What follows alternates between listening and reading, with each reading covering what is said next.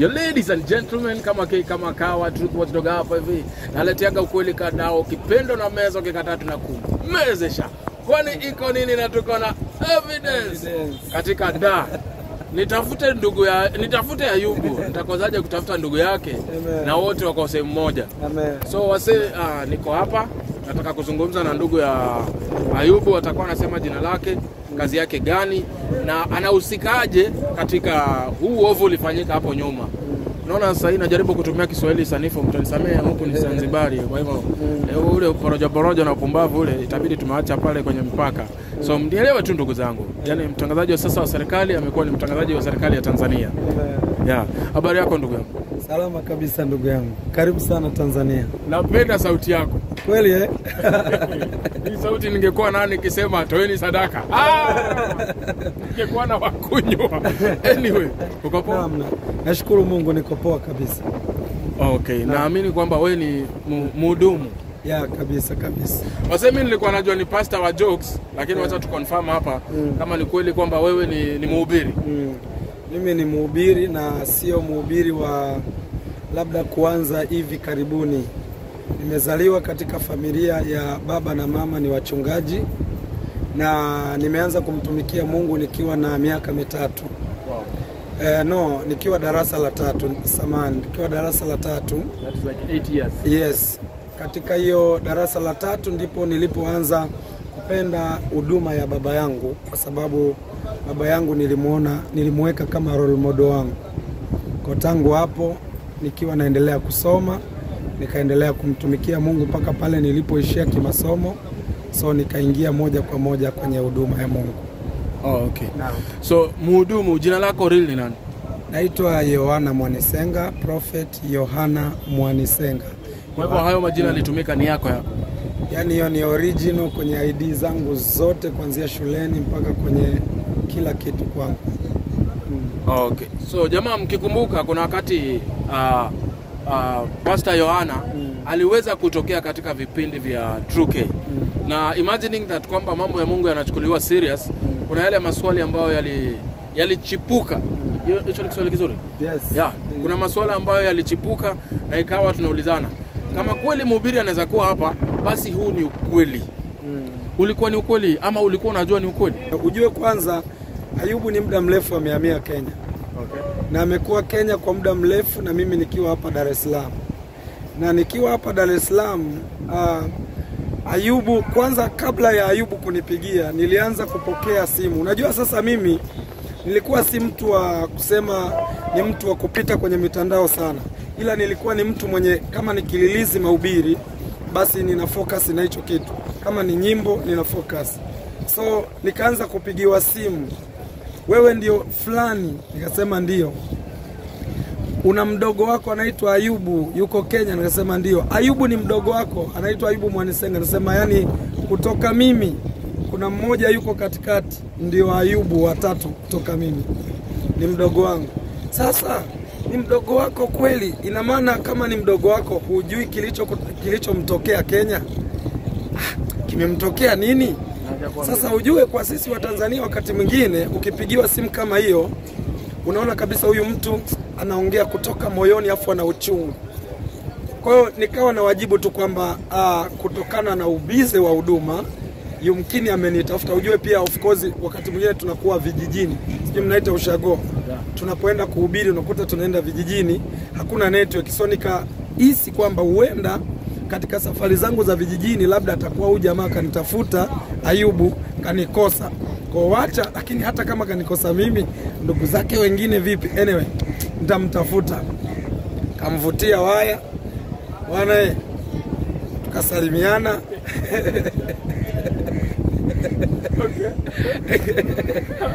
Ayubu, naam bro, mimi Ayubu ananiheshimu kama baba kwa sababu Ayubu nimemlea eh, ni stori ndefu, lakini niseme tu Ayubu nimemlea kwa namna moja ama nyingine. Ndio maana mara zote ukimsikia Ayubu huwa ananiita baba. So nikamuita akaniambia, ndio baba, unasemaje? Eh, akasema ndio baba. Nikasema bwana asifiwe, tukasalimiana.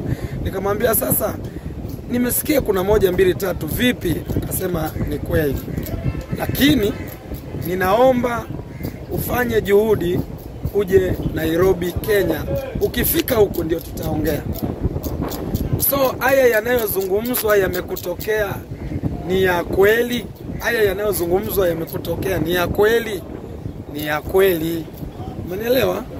Kwa kinywa chake, hata akija hapa atasema ni ya kweli. Naomba baba, fanya uwezavyo. Na niliona Ayubu ako kwenye nani, unajua mi namjua Ayubu vizuri. Ayubu of course toka akiwa mtoto ni mpole, si mwongeaji, ni mpole. Yani kwa hiyo ukiamua kumwonea Ayubu unamwonea kabisa, bila shaka, unaona. So niliposikia sauti ya huruma anayoiongea nikajua dogo amepata matatizo. Nikamwita wife, nikamwambia wife, shemeji yako amepata matatizo moja, mbili, tatu, nne, tano. Akashtuka, unajua anampendaga sana, ni moja ya mashemeji ambayo yani kama wameingiana damu wana naona. Akasema shemeji yangu we, akaanza kulia. Wife akaanza kulia, kamnyamazisha, watu watajaa. Hapana, hapana, hapana, nenda hivi tukope hata pesa we uende. Nikamwambia sikiliza, mimi sina passport, wacha tuvute subira. Bahati nzuri wakati huo kulikuwa na semina pale kanisani kwangu na wadogo zangu wengine walikuwepo, unaona, ambao ndio kripu ya, yangu ya kwanza kutoka na wadogo zangu. Nilivyowaita nikawaeleza tatizo la kaka za, nani mdogo ndugu yao, wakaniambia sasa tunafanyeje? Imebidi sasa, cha kwanza ni kutuliza mioyo ya watu, maana presha ilikuwa kubwa huku. Sasa nyinyi ndugu gani wajinga, nyinyi wapumbavu, wanatukana mpaka matusi ya nguoni. Hamwezi kuwa Tanzania alafu wa, nani ndugu yenu anateseka Kenya, nyinyi mko tu mnakula kula ovyo. Eh, fanyeni haraka mkaokoe ndugu yenu. So mimi siwalaumu, lakini ni kwa sababu walikuwa wanahurumia Ayubu kulingana na mchoro uliokuwa umechorwa, umeona so tukazungumza kwamba jamani, tunashukuru tume tume tume tumepata habari hii na tunashukuru Director J kwa sababu sasa tunamshukuru kulingana na alivyo tengeneza yeye kwamba ndio kamsaidia nani Ayubu. Kiungwana, hata ungekuwa wewe ndugu yangu ukasikia kuna mtu yuko labda Uganda kasaidia ndugu yako, unaona nini kitafata? Si kwanza umshukuru na uwashukuru mafansi wake ndicho tulifanya, tukawashukuru mafans na nikatangaza kwamba ninakuja Kenya kumsaidia ndugu yangu. Wow. So ukafika Kenya. Ah, kwanza tuseme uli, uli apply temporary passport ama? Of course, wakati sasa niko kwenye harakati za kuondoka, nilikuwa sina passport, ilikuwa ime expire. Sasa ikabidi sasa eh, niseme tu ukweli kwamba mfukoni sikuwa vizuri, so ikanisumbua kuondoka kwa haraka unaona kwa ikabidi sasa ni, niendelee kucommunicate na Ayubu, vipi lakini unaendeleaje? Ananiambia bro, usiofu kwa sababu wako watu wananiangalia.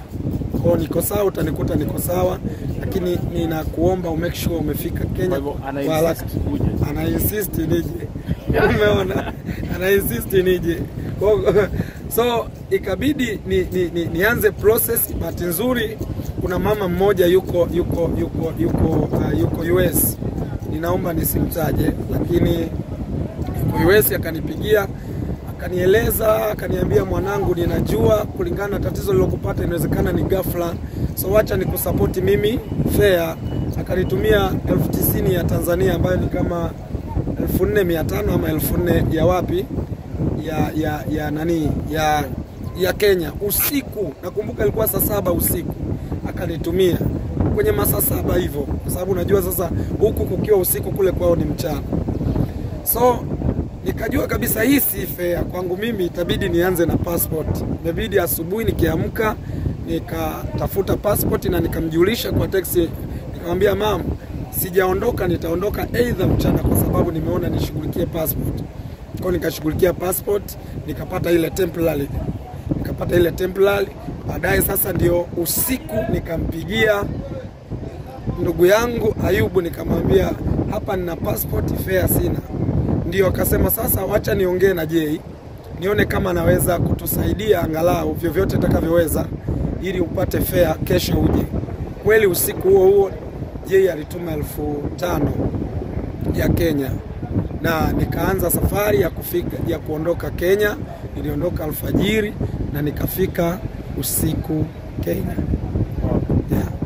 So hapo ilikuwa kufika usiku, ulifika kwa je ama kwa Ayubu?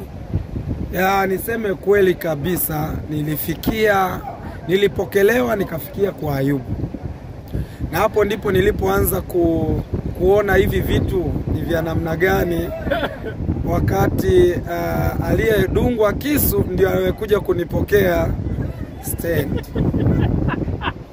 Unielewa? Unajua, miguu yangu ilianza kutetemeka hivi.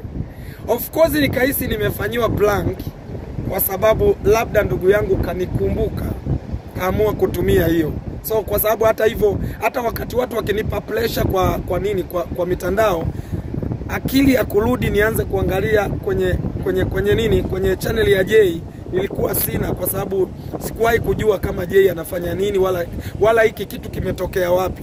Ni kama mtu aliyevamiwa.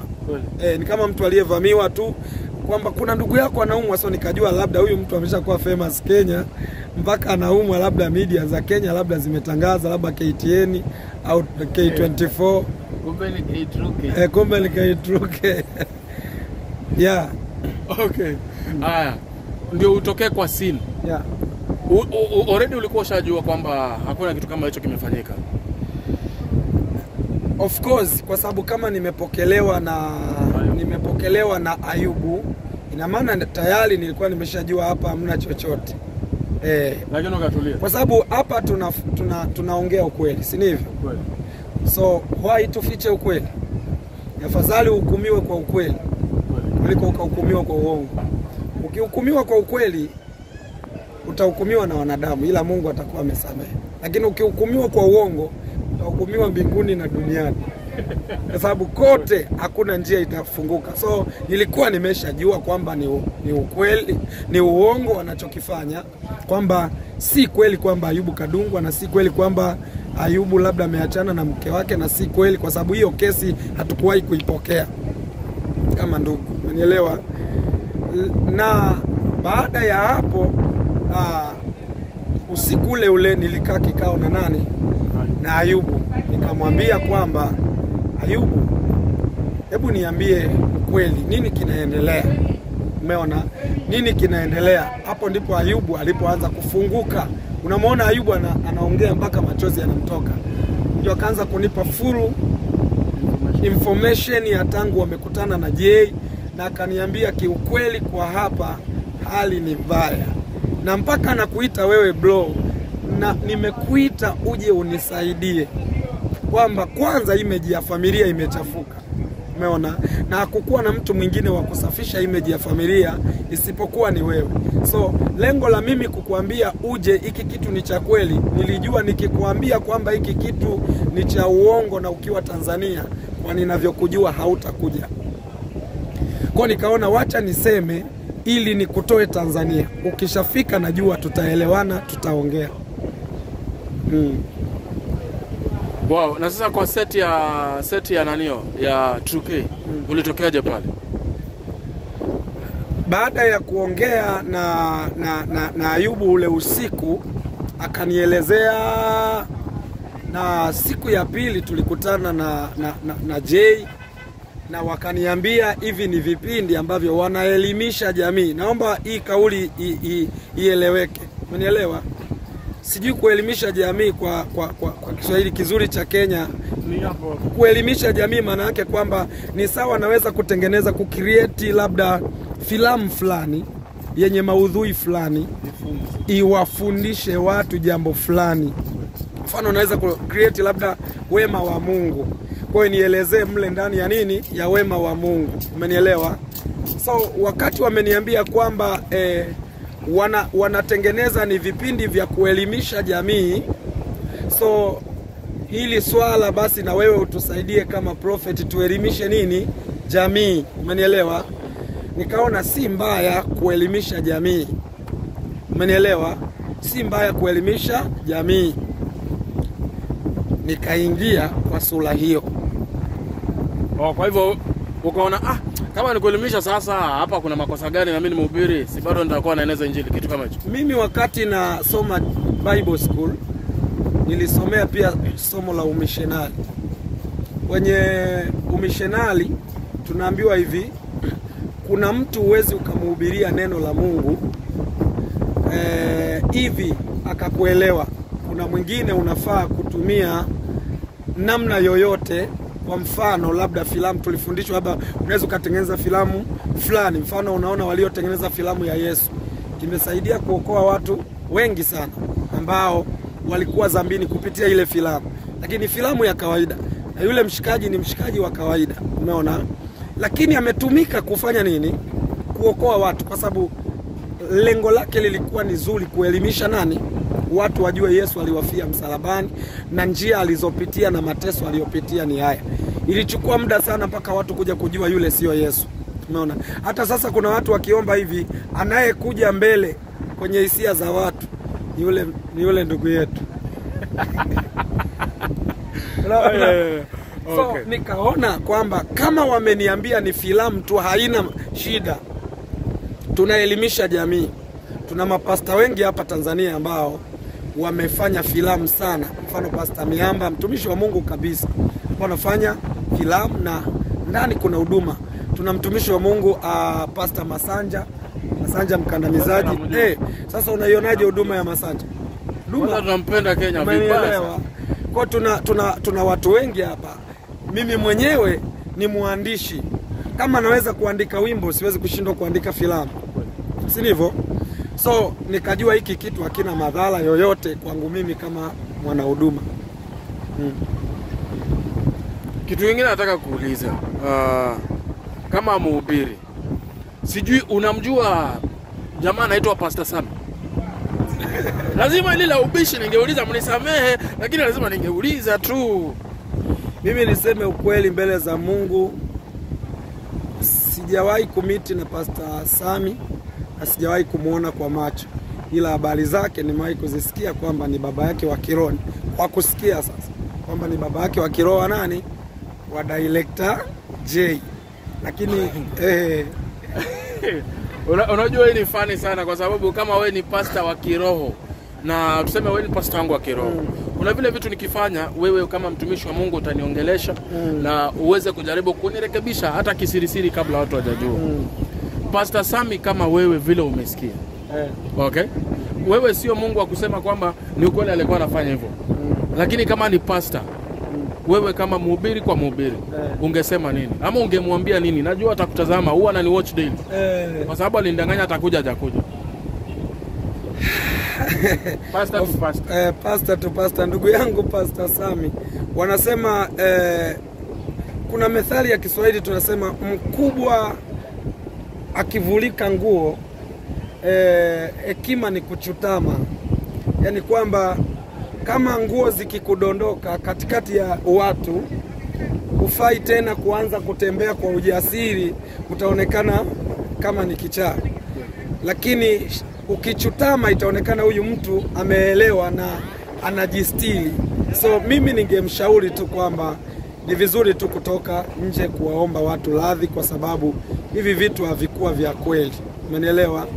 Havikuwa vya kweli, na kwa sababu anajua kabisa havikuwa vya kweli eh, so hakuna kigugumizi tena kusema kuje na, na, na vitu gani, ni kutoka tu kuwaambia watu tusamehe. eh, ni kuomba radhi. Kuomba msamaha sio ujinga, ni jambo la hekima, no hata watu watasemaje, lakini kikubwa umeomba msamaha yeah.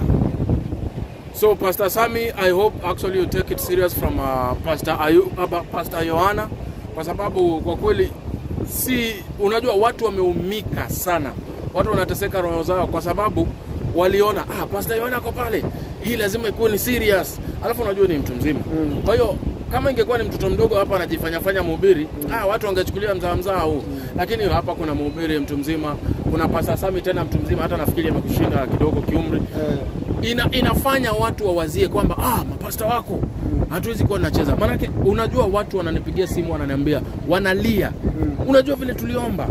Wakati unaona, unajua unani watch. Yale ma comment yanakuja pale, tulikuwa tunaomba, tulikuwa tuna sacrifice. Wewe unajihisi aje? yani watu walikuwa wanaomba. Ya yani kuombea kama Ayubu. Mm. Ayubu aliombewa kabisa na hata anajua na ndio maana sasa baada ya watu kujua ah, ili kuwa tu ni kipindi, haikuwa kweli, na tunatuma pesa alafu tunaomba, ndio wakaanza hata kumlaani yeye, basi nadungwa kisu sijui nini. Wewe unahisi aje? Ah, unajua mtu yoyote akisikia tatizo kwa le, tatizo limemtokea binadamu mwenzie, na hasa yule mtu ambaye anahisi kabisa huyu mtu ni wa muhimu. Unajua sasa, kwa kwa, kwa story walivyokuwa wameicreate ilikuwa ime, ime, imeleta huzuni sana, kwa sababu kwanza Ayubu ni Mtanzania, watoto ndio wale unaona ni wadogo, na stori yenyewe ilikuwa imeshika, iliwaingia kwa sisi wenye watoto ukiona mwenye watoto anapitia feeling zote zinakuja kwa watoto wako. Kama wangekuwa ni wangu, kama huyu jamaa ndo ningekuwa mimi, ingekuwaje? Nafikiri hapo ndio huruma ilipoanza kuingia na watu wakaanza kumwombea ya. Kwa hiyo hicho ndicho kilichofanya eh, watu waingie kwenye hisia kali za kuomba pengine na kuanza kuchanga. Wewe unaona kama hiyo maombi yanaweza yakageuka? Unajua, kwa sababu walikuwa wanaomba kwa imani ya kweli. Unaona kama hayo maombi yanaweza yakageuka yakawa maombi mapana? Uh, of course yanaweza yakageuka. Kama Ayubu asingetoka kuomba msamaha, yangeweza kugeuka. Okay? Aha. Endelea.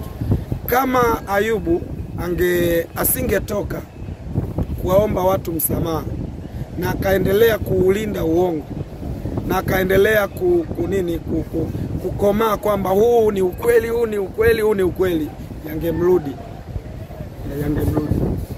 Wow, so Wakenya huyu actually ni mkubwa wa wake Ayubu na ni pasta ambaye mlimwona pale kwa set. Kwa hiyo pia ilitumika uongo kujaribu kumconvince ili aweze kutokea kwa kamera za 2K of which it worked. By the way, nilikuwa nitakuuliza ni swali tena kabla sijamaliza. Haukuomba Mwenyezi Mungu akuele, yani akuelekeze like eh, yani vile like Mungu ni nifungue macho nijue ni nini hawa watoto wanafanya. Unajua shida, uzuri wa Mungu, uzuri wa Mungu sio kama mwanadamu na atembei kwenye mawazo ya wanadamu. Mungu anaweza akaliona tatizo na akanyamaza, kwa sababu pengine kuna kitu anataka kufunza watu. Jiulize kama labda Mungu angesema pale pale na mimi nikakataa nisije Kenya na watu wangejua kule kule kiasi kwamba yasingefika mbali, yumkini wewe eh, leo tusingekuwa tumekaa na mimi hapa tunaongea hivi, na yumkini kuna wengi wasingeelimika kama ambavyo Mungu amekutumia wewe kuwaelimisha watu. Kwa wakati mwingine e, Mungu anaweza akakupa fumbo la imani kwamba uende kwanza alafu baadaye akufundishe wewe na wale. Kwa hiyo kuna vitu vingi mimi nimefundishwa na Mungu katika hili tu swala kwamba si vizuri kuamini watu kirahisi rahisi, mona Ingawa moyo wangu uligoma sana, hata angekuwepo mke wangu amekaa hapa, angekuambia kwamba nilikuwa nasema, lakini mbona moyo wangu sio hauna. Mimi nashukuru Mungu, Mungu ameniconnectigi sana na, na sijui ni moyo wa familia E, Ayubu anajua, Ayubu anajua hata familia yake. Yaani kuna wakati naweza kumpigia na nikamweleza kitu ambacho hata yeye kule anawaza hicho hicho, na yeye alitaka kunipigia vile vile, lakini naweza kwa kufunuliwa kwa habari ya tatizo ambalo labda liko nyumbani au liko kwa mtu yoyote, umenielewa? Lakini labda chenye kilisimama zaidi pia upendo wa kumpenda mdogo wangu ulifanya ni ni nini nishtuke, eh, nishtuke na ni panic kwamba mdogo wangu amepata tatizo, umenielewa? Kwa hiyo ni vitu kama hivyo. Wow, tokea Dar es Salaam wase. So thank you so much mzee, I really appreciate uh, watu wa Tanzania kwanza kwa upendo na kwa kunikubali na kazi zangu. nyendo ndio mmeniita hapa, so Ayubu sio Yohana. Hii kupatana ilikuwa tu ni kwa ile ah Eh, ni aje bro, nimesikia uko Zanzibar. Eh, niko huku. Uko wapi? Uko hapa. Tukaweza kukutana na kwa uzuri akaja akaweza kuja na ndugu yake kwa sababu pia alikuwa pale kwa set na anajua amewaelezea kwenye channel yake. Bado pia nitakuwa na drop link hapa. I hope utanitumia kwenye nambari yangu. Sawa sawa. Sa ili muweze mkaenda, unajua kuna wale watu ambao wanaamini sana neno la Mungu. Usikose, usipitwe na neno la Mungu. Labda uko pale Gulf, uko sijui sehemu gani hizo ambazo wa- wa- wakubali mahubiri ya Kikristo. Kwa hiyo mimi nitakuwekea hapa link, follow yeye, nenda ukamsikize, make judgments. and don't be clouded. So i really appreciate your time. Thank you so much. Mwenyezi mungu awabariki. Asanteni kwa chakula kizuri eh, tanzania. Asanteni kwa kina dada wazuri wakikukataa ujuu umekataliwa. Sasa yani mimi kama mtangazaji wa serikali imebidi nifike mwisho na kusema asante sana ndugu yangu asante kwa kunikaribisha Labda kabla hujamaliza mm -hmm. eh, nitumie nafasi hii kwa sababu nahisi ndio eh, nafasi nzuri ya kuwaelezea watu maswali fulani ambayo nahisi yanaweza yakatengeneza ukakasi. Jambo la kwanza ni kwamba watu wanaweza kujiuliza, hata yale mahubiri nina akti, hata yale maombezi nilikuwa naombea watu nina akti kwa sababu ili nafikiri baada ya mimi kutoka, kuna watu wasema, kumbe ulikuwa unatuombea unatuaktia, kumbe unahubiri una, una akti. Nataka niseme kwamba kila nilichokifanya kwenye kamera za True K kinachohusiana na Mungu kilikuwa kinatoka moyoni, na mimi nilijua kabisa kwamba huduma ambayo Mungu amenipa kupitia kile, eh, kupitia tuseme kupitia kupitia eh, eh, kupitia wale watu wananiona kwa sababu kwanza wakati tu nina nimekaa nime, nime kwenye kamera, kuna kitu Roho wa Mungu alinisemesha kuwaombea watu, umenielewa? Obvious mimi nina mzigo wa kuwaombea watu, so hata hapa usishangae nikaanza kukuombea, umeona? anaweza kubadilikia sasa hivi nikaanza kukuombea kama Roho wa Mungu atasema ni nikuombee. Kwa hiyo chenye nilifanya, yani chochote ambacho kilifanyika kuhusiana na huduma kilikuwa kinatokana na ukweli wa huduma. Kuna maswali mengine kwamba nilichangisha kwamba kanisa linafungwa na watu wakachanga. Ni vizuri tuseme, si hivyo? Tulichangisha kwamba e, kanisa linafungwa, ni kitu cha kweli kabisa. kupitia kwa Truke. Hapana, kwenye chaneli yangu mimi kwenye mambo ya huko sikuwahi kuchangisha na wala sikuwahi kuhudhuria kwenye kwenye tuseme kwenye kwenye ile zile live zao za kuchangisha. Ah, sikuwahi kuingia, ila nazungumza kule kwangu, kwa sababu nilipokuwa nimetoka kule, nilipofika Tanzania ndo nikakuta kanisa limefu, lime, linataka kufungwa, sio limefungwa, nimeletewa barua. Kwa hiyo tulichangisha tukiwa tunajua kabisa, tunasema na watu ambao tunawaombea, na kama tumekuombea, kwani tukikushirikisha kwamba huduma inafungwa ni dhambi yoyote pale? Umeona? So ni kitu cha kweli. Kama kuna mtu alitoa kwa habari ya kanisa, nasema mbele za Mungu aliyeziumba mbingu na nchi, hakuna sadaka ya mtu imepotea. Kama ulichanga uli, uli, uli kuhusiana na online TV, ni kitu cha kweli kabisa ambacho hakina ukakasi kwa Mungu. Kwa hiyo hiki siwezi kuogopa kusema ya vyote vilivyofanyika kwa habari ya huduma ni vya huduma, lakini mwisho wa siku niseme, tukisema hatukukosea kabisa, tutakuwa tunakosea tena. Ni vizuri tukusema niombe radhi, kwa sababu wakati mwingine ukikaa hivi unawaza kwamba sijui ni kutekwa, sijui ni, ku, ni nini? Kutekwa, e, sijui kulifanyika nini, lakini unaona kabisa ili e, kwa mfumo uliokuwa umetengenezwa pengine haikufaa kabisa mimi kuingia, ila kwa sababu walisema tunaelimisha jamii, tunawafundisha watu na watu wanafundishika na watu wanaenjoy na watu wana, wanapata eh, eh, furaha, wanajifunza vitu vya mahusiano, nikaona si mbaya, lakini kwa wale ambao pengine kupitia hayo mambo niliwakwaza na kuwakosea kwa yale yaliyoonekana, wakaona kwamba kwa nini prophet ajiingize hapa. Mimi ninaomba mnisamehe kabisa na mu, mu, eh, eh, sio kwa unafiki, yani ni kwa kutoka moyoni kwamba nisameheni, kwa sababu kwanza naweza kusema nilitekwa kifikra kwa sababu nilikuwa nimekuja na moyo wa kusaidia ndugu yangu kwa matatizo aliyopata, lakini kufika kule na ukishakuwa nchi eh, ukishakuwa eh, katika nchi ya watu, wakati mwingine unapoteza confidence kidogo, unahisi kabisa hawa walio karibu yangu ndio wenye uwezo wa kunisaidia kwa namna moja ama nyingine. Kwa ninaomba radhi na ninaamini kabisa swala hili haliwezi kuja kujirudia, na hiki kitu kisiwe kigezo cha kuacha watu kusapoti kazi ya Mungu. Kazi ya Mungu itabaki kuwa kazi ya Mungu, na kazi ya Mungu itabaki kusimama kuwa kazi ya Mungu, na maono yatasimama kubaki kuwa maono.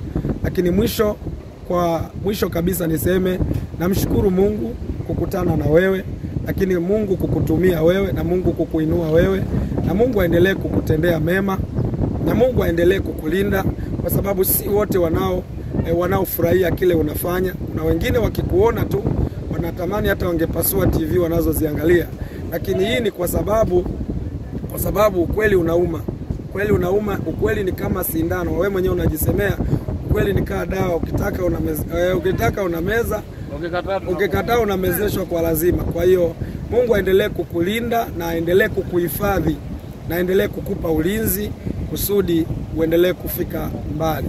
Kwa hiyo tusameheane, nisamehe sana. Niliingia, eh, niliingia, niliingia kwenye movie ambayo mimi kwa dhamira yangu nilijua kabisa wana act kawaida kabisa kama movie zingine za kuelimisha jamii, lakini sikujua kama mwisho wa siku hii movie itaenda hivyo. Ndio maana nilipogundua nilijitoa mapema, niliamua kuchomoka na nikachomoa, tukaondoka na huyu kutoka Kenya kuja Tanzania, na hata watu wakirudisha kumbukumbu, nilipomleta Tanzania tulikaa kikao kizito na tukamaliza, na aliporudi kule hakuwahi kurudi kuact tena na kufanya vitu vile. Asanteni sana wa Kenya, please support the pastor here. Ukweli ndio huo. Ile ingine utasikia kutoka kwa nani nani, yeye sio Pastor Yohana. Kwa hiyo nashukuru sana, naamini mafansi wangu mtamsamehe, na wale ambao mnapenda Mwenyezi Mungu na mnaamini kwa imani ya kusapota watu ambao Mungu anatumia, tafadhali fikeni pale, subscribe, hit my notification bell, alafu mkiona hii video kwangu, jamani, msupportini na msubscribe pale. Thank you so much Tanzanians, thank you so much Kenyans, thank you so much African community at large. Mwenyezi Mungu pia na akubariki na uendelee na injili yako. Amen, amen.